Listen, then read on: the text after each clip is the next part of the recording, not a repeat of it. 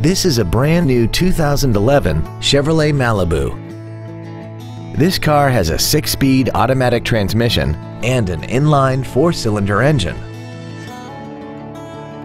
Its top features include air conditioning, cruise control, full power accessories, a multi-link rear suspension, a four-wheel independent suspension, a security system, traction control and stability control systems, dusk sensing headlights, external temperature display, and XM satellite radio, which streams commercial-free music, news, sports, and more.